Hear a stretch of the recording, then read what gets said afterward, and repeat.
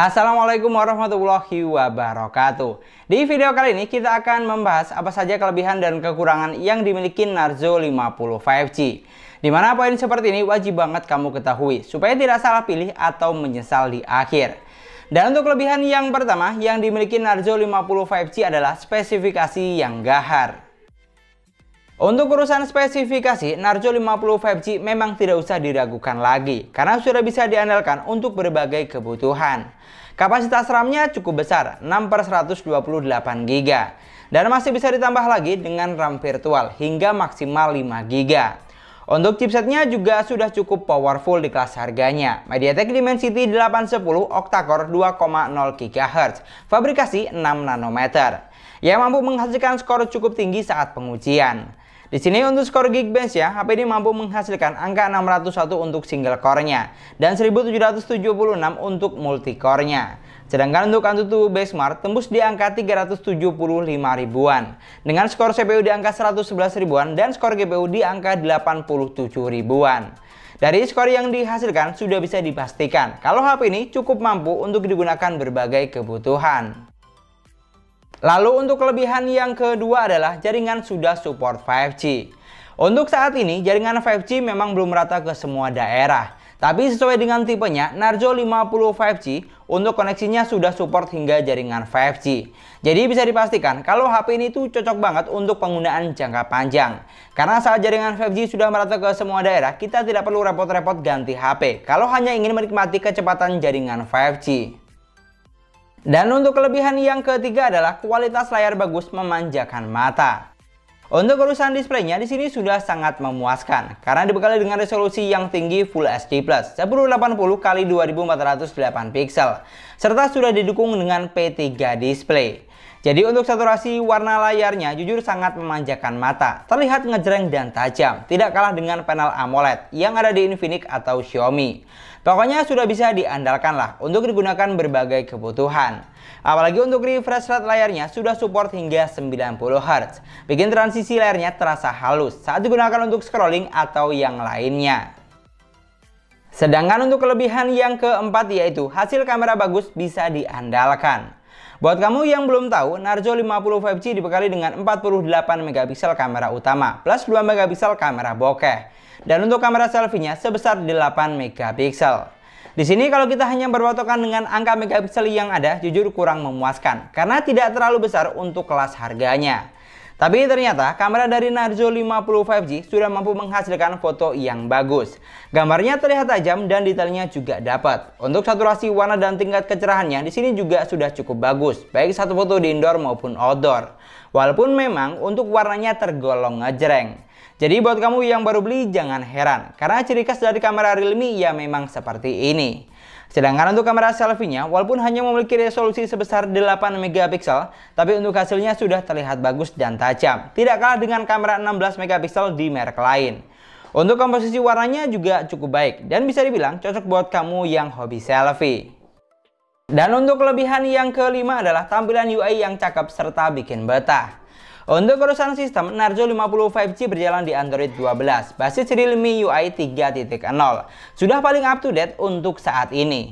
Di sini yang saya suka, UI-nya ini memiliki tampilan yang sangat menarik, simpel serta mudah dipahami, dan juga gampang untuk di custom-custom.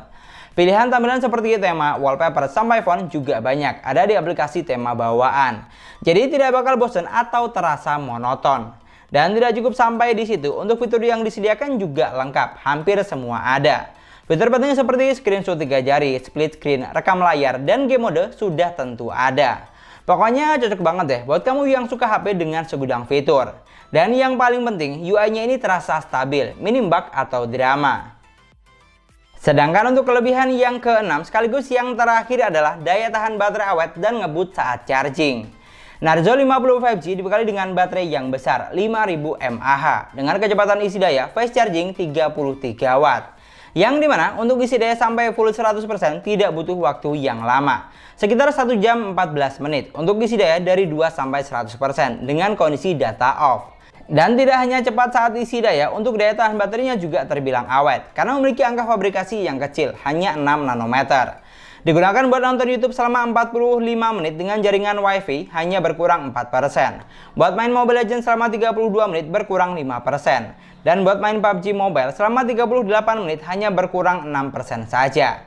Pokoknya untuk daya tahan baterainya di sini saya cukup puas karena kalau hanya untuk penggunaan yang wajar, baterainya ini sudah bisa diandalkan untuk penggunaan selama seharian.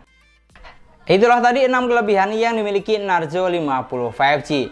Sekarang kita akan bahas apa saja kekurangan yang dimiliki HP ini. Dan untuk kekurangan yang pertama adalah masih menggunakan konsep layar water drop screen. Dari keseluruhan desain yang ada, jujur saya suka dengan HP ini. Looknya mewah, memiliki bentuk bodi yang flat atau kotak, plus sudah dilengkapi dengan dual speaker output. Di sini yang sedikit disayangkan hanya satu, yaitu masih menggunakan konsep layar jadul water drop screen. Jadi agak terkesan kurang greget aja gitu. Soalnya untuk yang lainnya sudah cakep semua. Tapi untuk hal ini baliknya juga tergantung selera masing-masing aja sih. Kalau buat kamu bukan masalah berarti hal ini bukan jadi nilai kekurangan. Lalu untuk kekurangan yang kedua adalah slot SIM tray yang hybrid. Seperti yang kamu lihat, Narzo 50 5G hadir dengan slot SIM tray yang masih hybrid. Yang mana artinya SIM 1, SIM 2 plus micro SD tidak bisa dipasang secara bersamaan. Harus ada yang mengalah salah satu. Kalau kamu menggunakan dual SIM berarti tidak bisa ditambah dengan micro SD. Dan sebaliknya, kalau kamu menambah micro SD berarti hanya satu SIM saja yang bisa dipasang. Jadi sebelum beli pastikan kamu tahu hal ini, terutama buat kamu yang sudah terbiasa menggunakan triple slot. Sedangkan untuk kekurangan yang ketiga yaitu masih menggunakan virtual gyro. Jika kita berpatokan dengan aplikasi Sensor Box, Narzo 50 5G masih menggunakan virtual gyro. Yang di mana saat digunakan buat main PUBG Mobile, sensor giroskopnya terasa delay atau kurang responsif. Jadi kalau kamu player PUBG, kamu perlu perhatikan hal ini. Tapi kalau kamu tidak mengutamakan gyroskop, abaikan saja poin ini. Karena yang jelas performa dari Narzo 50 5G sudah bisa diandalkan untuk digunakan berbagai kebutuhan. Buat kamu yang butuh sensor NFC, di sini juga sudah ada. Dan itulah tadi beberapa poin kelebihan serta kekurangan dari Narzo 50 5G versi sesuai harga. Di sini kalau misalnya kamu punya pendapat atau poin tambahan yang lain, kamu juga bisa banget tulis di kolom komentar. Supaya teman-teman yang lain biar pada tahu. Dan supaya nggak salah paham, kamu juga wajib banget tonton video review lengkapnya. Karena di sini kita bahas poin-poin intinya saja. Dan mungkin sekian dulu pembahasan kita kali ini. Terima kasih banyak buat yang sudah nonton videonya sampai akhir. Semoga videonya gampang dan mudah dipahami. Dan yang paling penting, semoga videonya bermanfaat. Jangan lupa like dan komen videonya. Jangan lupa juga subscribe channel sesuai harga. Kita ketemu lagi di video selanjutnya. Assalamualaikum warahmatullahi wabarakatuh.